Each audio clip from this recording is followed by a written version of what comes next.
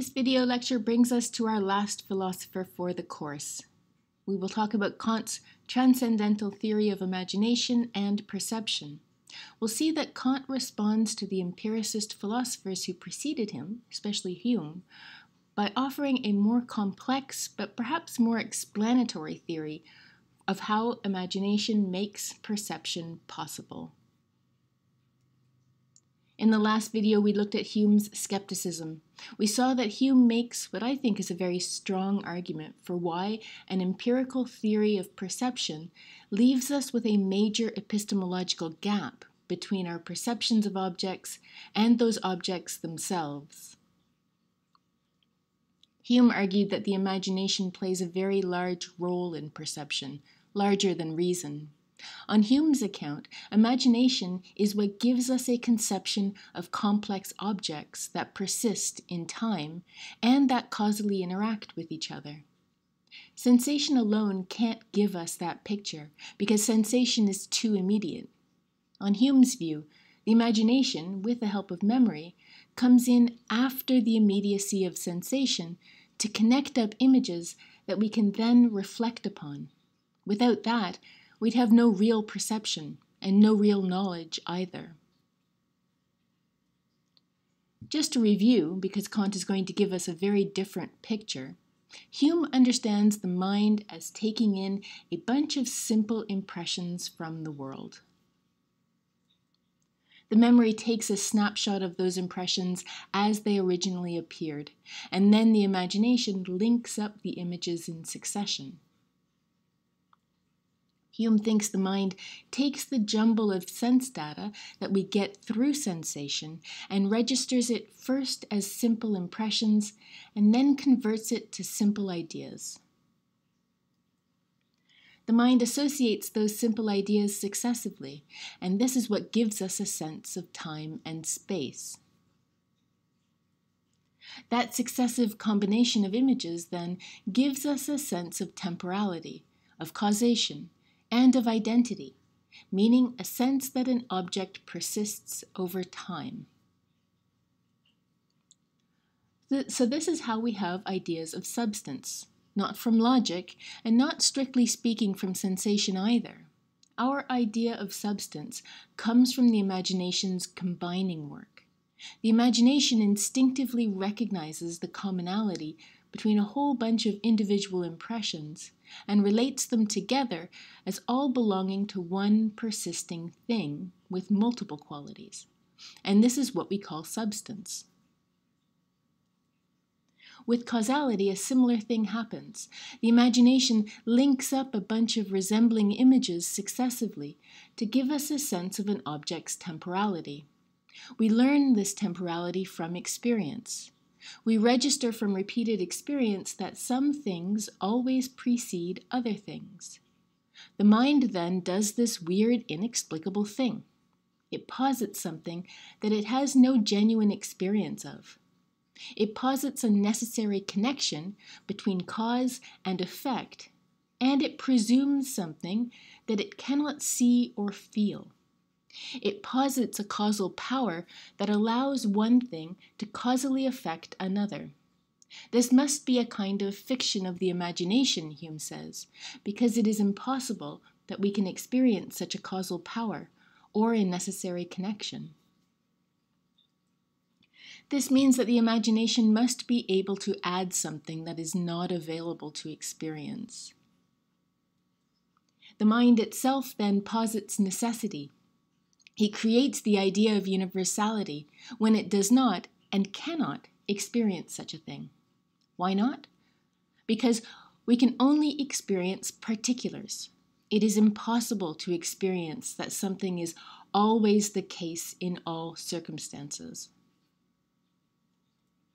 So, for these reasons, Hume argues that sensation alone cannot give us a sense of persisting objects.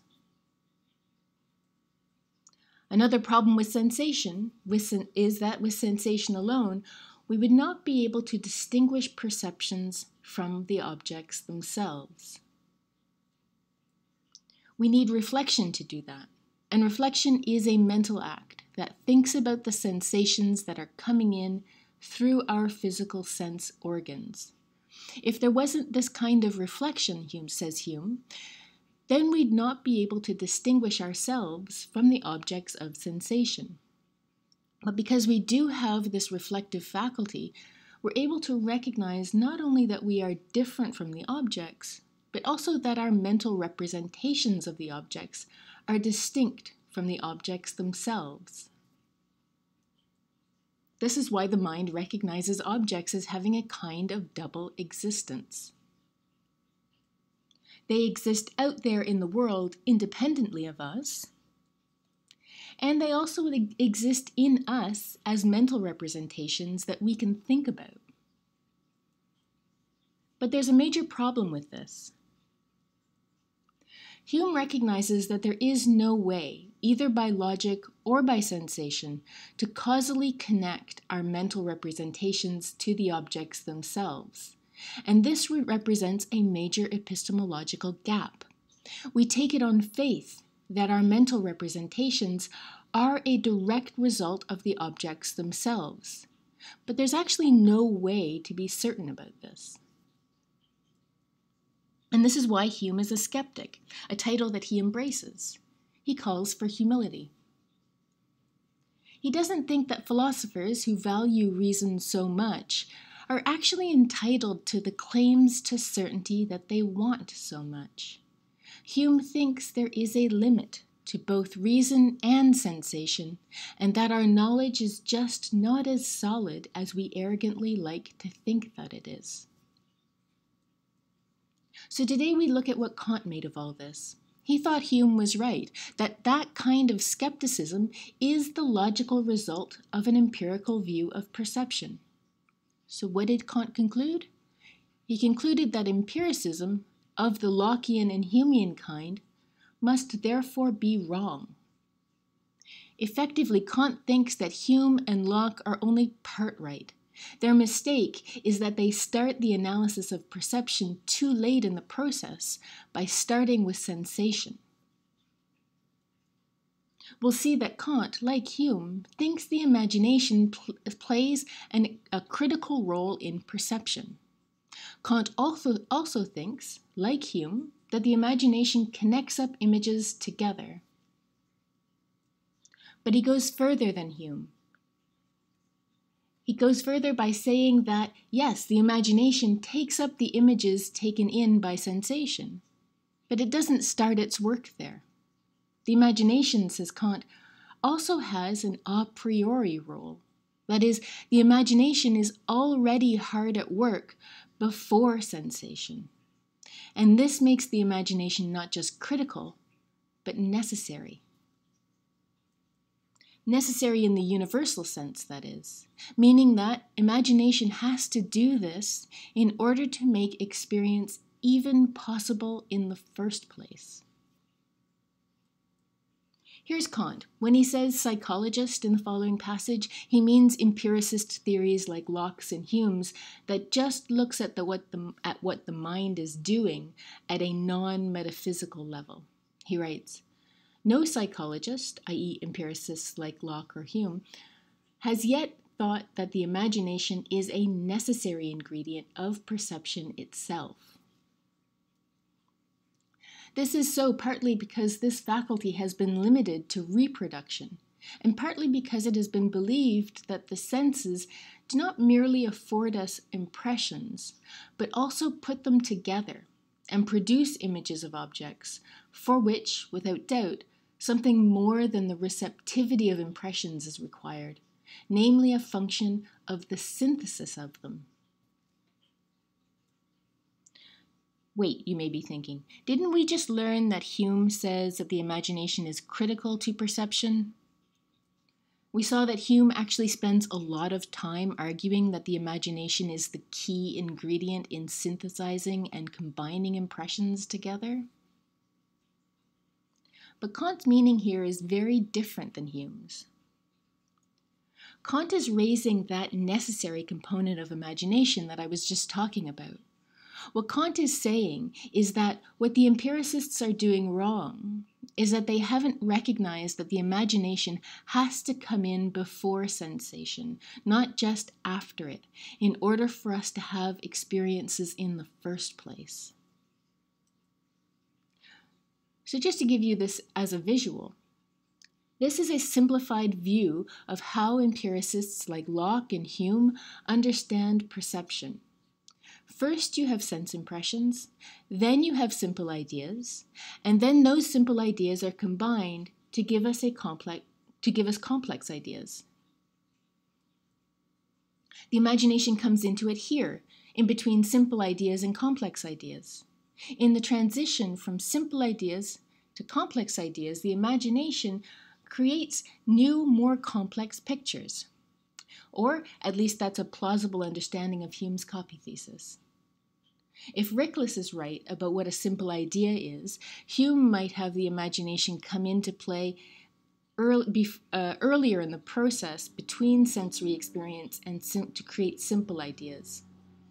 Regardless, what's important for our understanding of Kant is that this scheme, in this scheme, sensory experience comes first. On the Kantian scheme, on the other hand, imagination has a double appearance like this, with imagination coming in before sense experience and again after it. We'll discuss this at length later in the lecture. For now, it's enough to say that Kant's after experience role of the imagination is not incredibly different from the empiricist view though there are some significant distinctions that we'll get to. But what is really different is this pre experience role for the imagination, and it is this that we'll be talking about for the rest of today's lecture. So Kant assigns both an a priori and an a posteriori role to the imagination. This is Kant's transcendental theory of the imagination. In order for this to make sense, we'll need to review Kant's transcendental theory of cognition. You may have already had some exposure to this in Phil 210. My goal here today is to give us an intuitive understanding of what Kant's main argument is. So I'm restricting my explanation just to the important bits and intentionally avoiding the heavy jargon and technical details as much as I can. So here's an important thing to keep in mind. I'll remind you a few times of this because it is especially easy to forget what Kant means by the word transcendental. He doesn't mean it in the kind of new agey way that you may have encountered elsewhere. For Kant, transcendental specifically refers to the mind's a priori functions that make experience possible. It's transcendental because it transcends the world of experience by connecting together the mind's a priori functions with its a posteriori functions. The way I like to make this more intuitive for students is to use the analogy of a computer. Now, this is just an analogy, meaning that it is a metaphor and not a literal interpretation of Kant's view. But I think that computers uh, and what we are what most of us are familiar with about how they work helps us to decipher what is otherwise very abstract in Kant's thinking. So, by analogy, we can compare Kant's conception of the a priori functions of the mind to a computer's operating system. And the a posteriori experience is like the data that you input into the computer.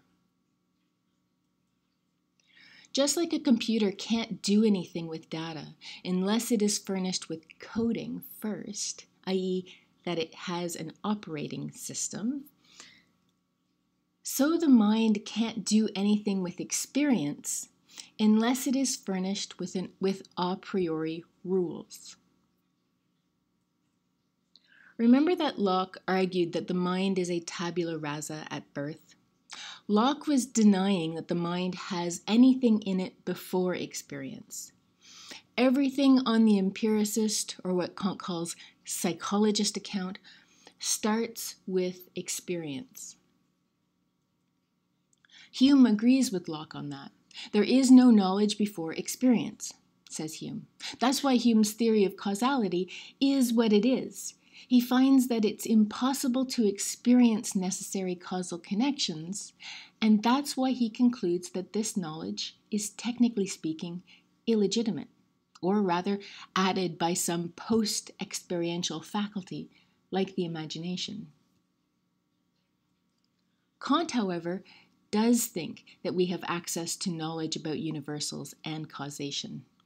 Kant actually does think that Hume's argument from empiricist is sound, but he thinks the conclusion is wrong. That means that something must be wrong with the starting point. Kant says that since we do not since we do know about causality and universals, it means that empiricism must be wrong. Taking up our computer analogy, we know that a computer doesn't start with data. It starts with coding that has to be inputted first in order for the computer to be able to retain and make use of data. Applying this to the mind, it means that we likewise do not start tabula rasa and then take in data. Not precisely, anyway. The mind needs some rules first some kind of program or code in order to take in the data. So, just like a computer, Kant isn't suggesting that we have any information before you put data in. What he's suggesting is that you have to have something in place, a programming structure with rules of operation, before the mind is going to be able to accept the data and know what to do with it. Now remember that I'm giving us the computer as an analogy. It isn't a perfect comparison, but I think it works as a metaphor to compare the mind's a priori structure, as Kant describes it, to a computer's fundamental programming. Now, keep in mind that he nowhere ever says program. So when I use that word, remember that I mean it metaphorically.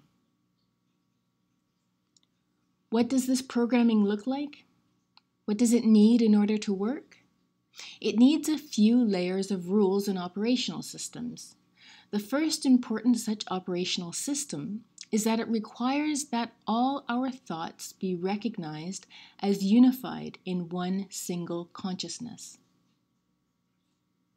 And this makes sense, right? You need for your thoughts to be cognizable as all belonging to you as a consciousness thinking about things. Kant doesn't think that this comes from experience. It can't be.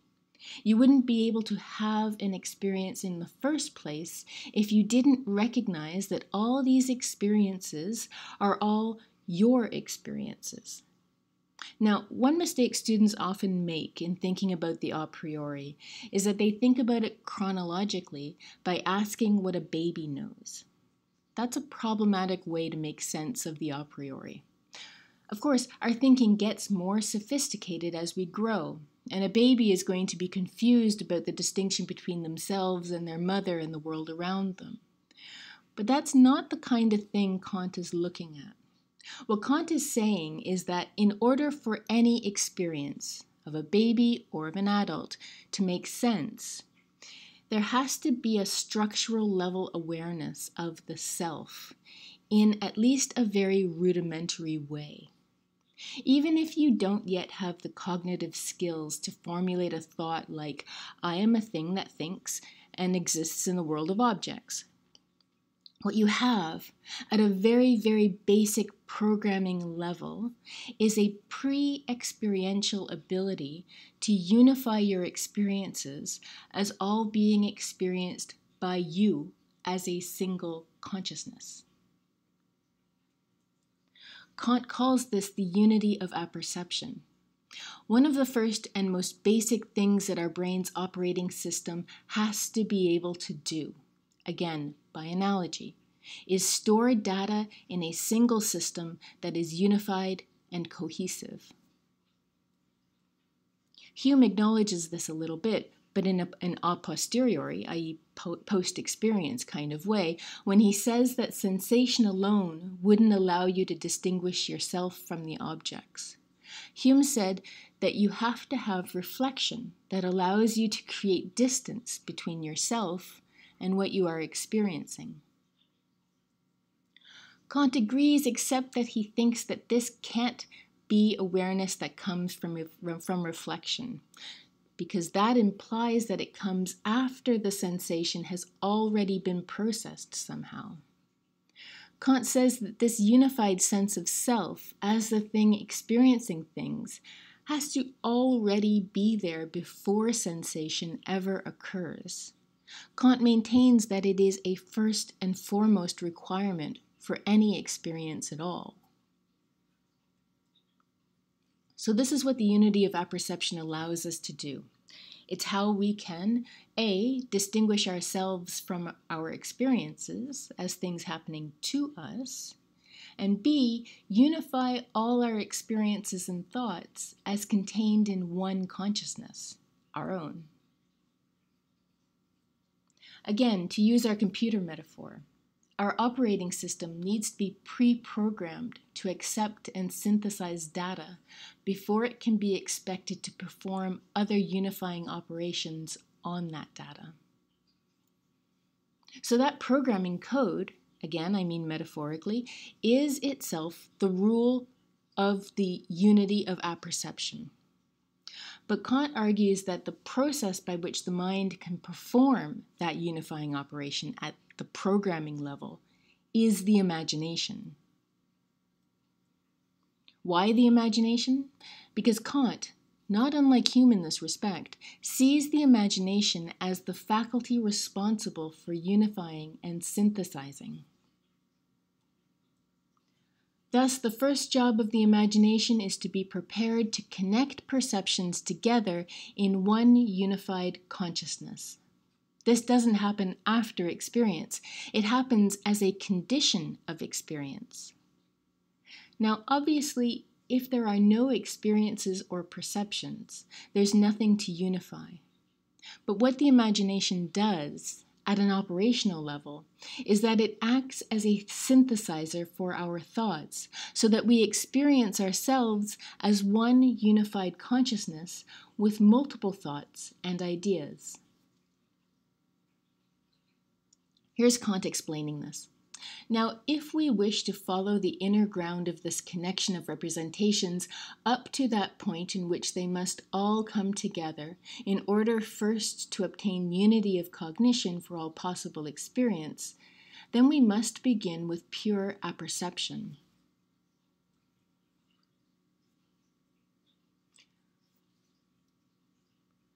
In other words, he just said that if we want to make sense of how we have mental representations in the first place, we have to start with pure apperception, meaning an a priori level, a kind of uh, programming kind of self awareness. He writes, all intuitions, i.e., sensation based experiences, are nothing for us and do not in the least concern us if they cannot be taken up in consciousness whether they influence it directly or indirectly, and through this alone is cognition possible. Meaning that we couldn't have any kind of experience at all if it weren't for this unifying consciousness. It's what makes conscious awareness possible at all. So, to reiterate, the mind takes up the world as experience, of experience as representations. But first, in order to do that, it has to have the ability to hold and make sense of those representations. The first requirement of this is the unity of apperception.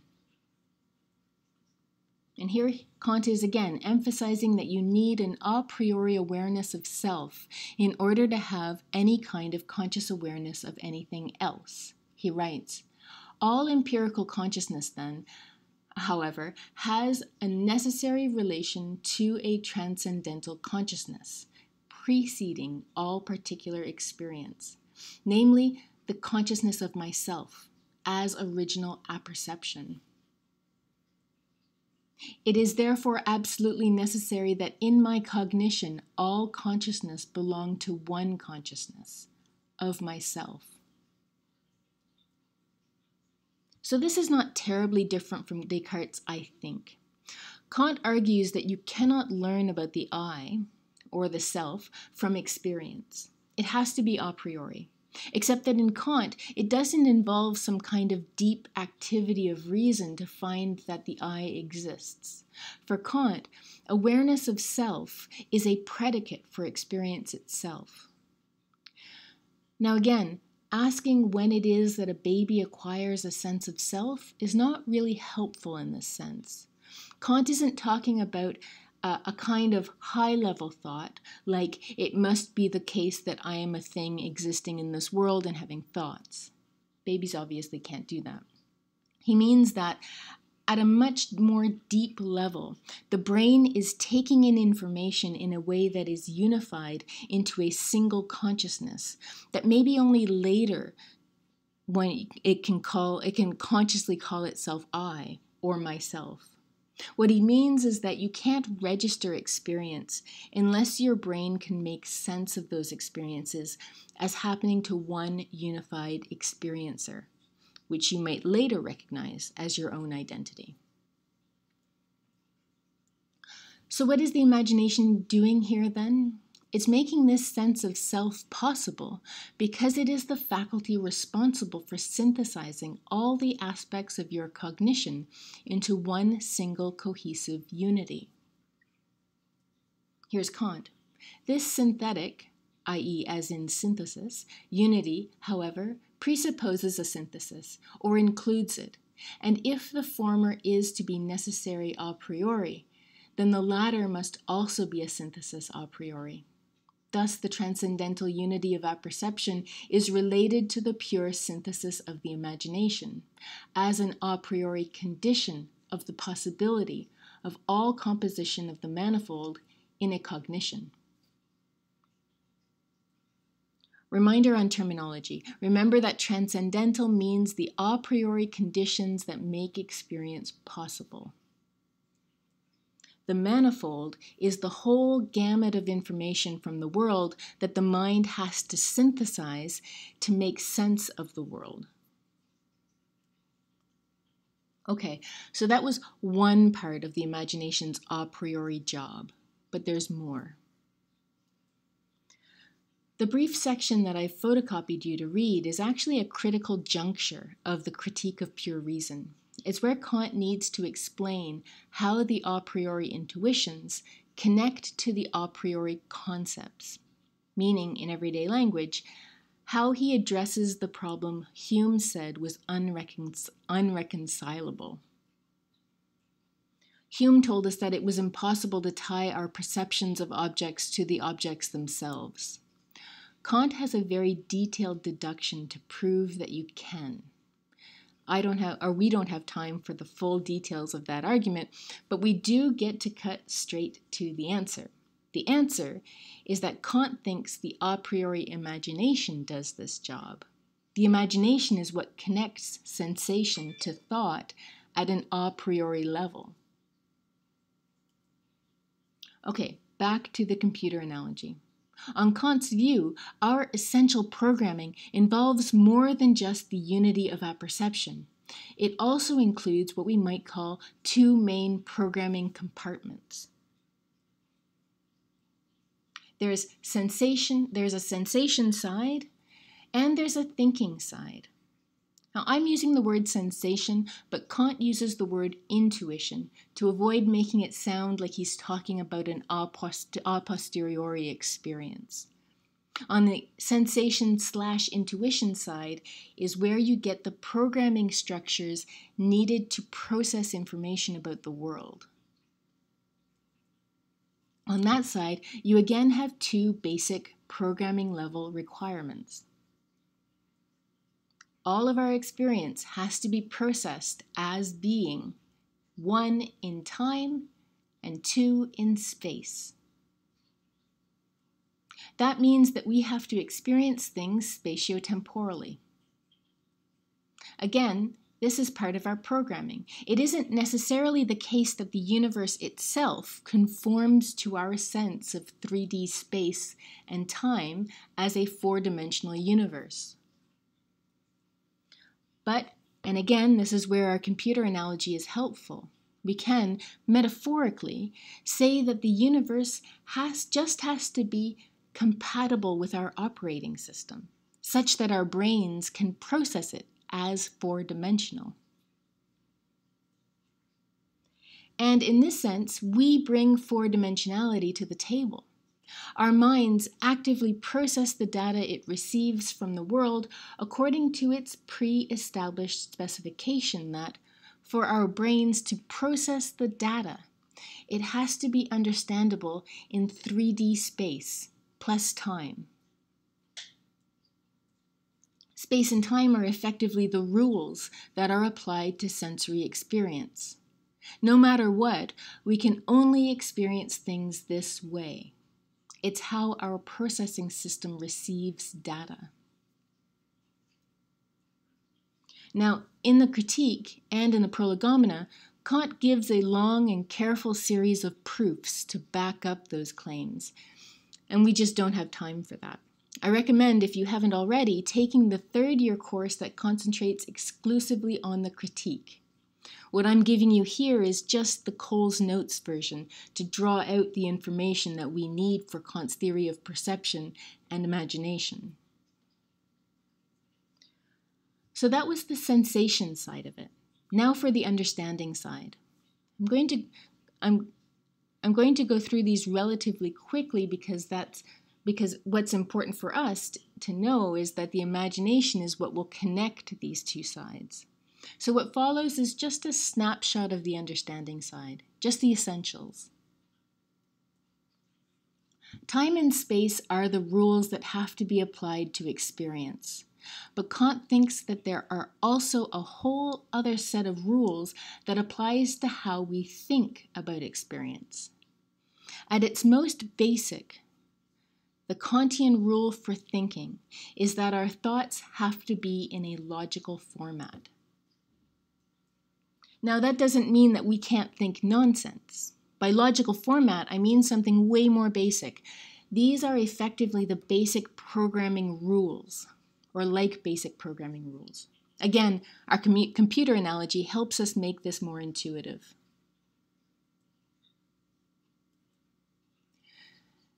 These, these rules are extremely fundamental. They are things like if P then Q, or something either is or is not, or something is either particular or universal. If you've had any exposure to computer coding, you may be familiar with the need for a basic coding language to be in place in order for the computer to execute commands. It's kind of like that. Kant calls this kind of rules based coding language judgments. Effectively, it says that all our thoughts only make sense as propositions.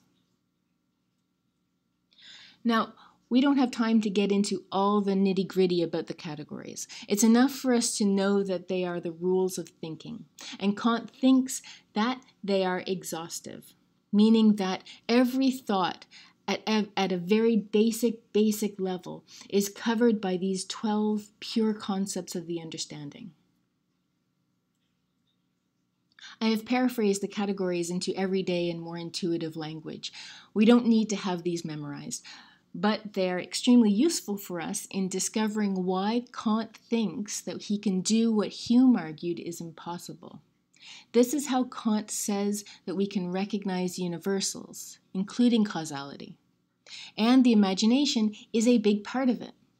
So these are the basic rules, basic codes that allow us to classify our concepts of things. All things are 1. Universal or particular or a totality, meaning infinite. 2.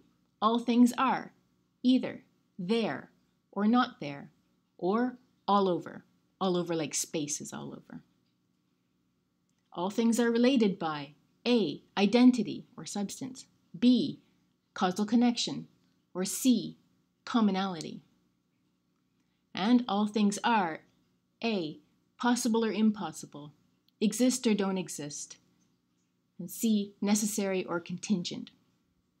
Again, that language is, per, is paraphrased, but notice what this list has in it. It includes these ideas that Hume said had no good explanation. For example, universality, causality,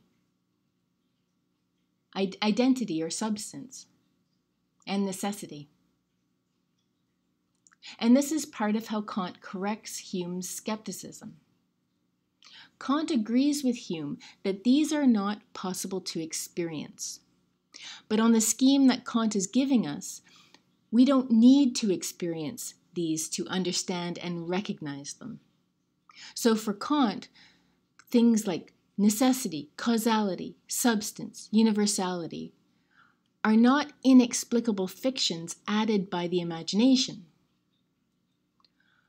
But neither are they derived from experience.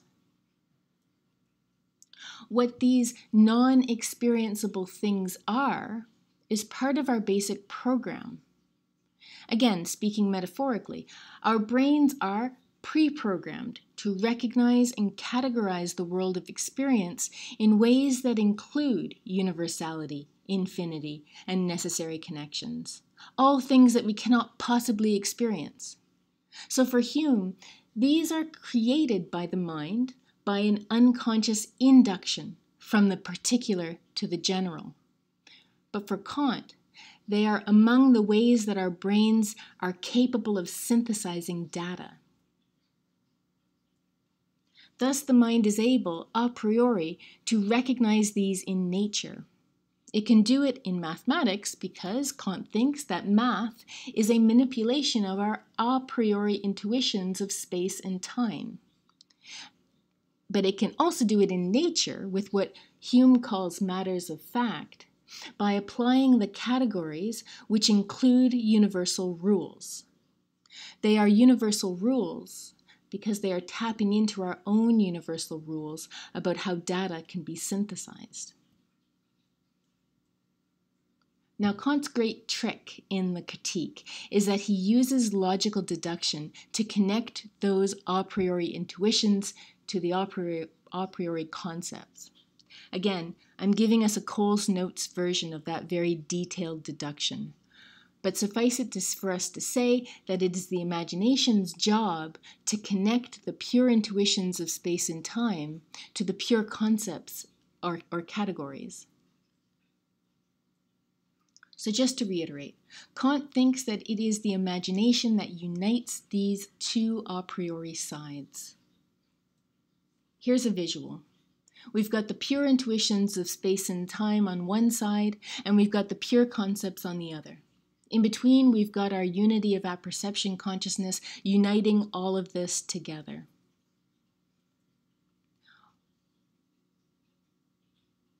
What is doing that uniting and synthesizing? It's the imagination. So let's say we're experiencing a necessary causal connection happening between spatiotemporal objects, which is the rule for how objects can be experienced, i.e., in 3D space and in successive unidirectional time.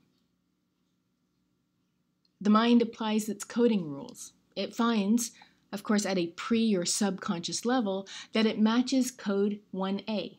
It is universal. It matches code 2A. It is there as a thing that exists. When thinking specifically about the response of the green ball, it finds 3b, causal connection. And finally, it finds code 4c. It is a necessary connection, meaning it is a universal rule and not an accidental occurrence. Now, this doesn't mean that we can't make mistakes about the categories. Of course, we can interpret something as necessary when it's actually contingent. But what it means is that we don't rely on experience to make these determinations. We're instead relying on the fundamental rules that our brains follow in making sense of information we receive about the world. In other words, we do not need to experience universality to recognize or posit it. Instead, we're able to pick these categories out because they are part of our a priori structure that allows us to make sense of experience. The imagination has to make the synthesis, though. Recognizing something like causality means applying the rule of how objects are in space and time to the rules of how we think about things. Unlike Hume, Kant doesn't think these are disconnected. He thinks that the imagination synthesizes the a priori intuitions with the a priori concepts as part of the synthesizing unity of apperception. And the result is that we can apply the rules of thinking to the rules about how objects are experienced in space and time. Here's Kant. What we have expounded separately and individually in the previous section, i.e., pure intuitions and pure concepts, we will now represent as unified and in connection. The possibility of an experience in general and cognition of its objects rest on three subjective sources of cognition sense, imagination, and apperception. Each of these can be considered empirically, namely in application to the given appearances, but they are also elements or foundations a priori that make this empirical use itself possible. Sense represents the appearances empirically in perception, the imagination in association, and reproduction, and apperception in the empirical consciousness of the identity of these reproductive representations with the appearances through which they are given, hence in recognition. But pure intuition, with regard to it as representation, time, the form of inner intuition, grounds the totality of perception a priori.